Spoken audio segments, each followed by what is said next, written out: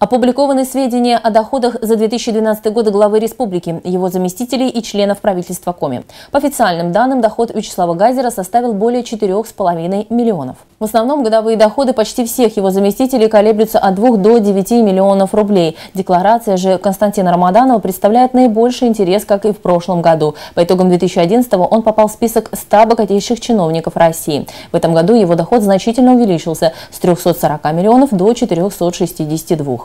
Зарплата министров региона за год составила от полутора до двух миллионов 800 тысяч.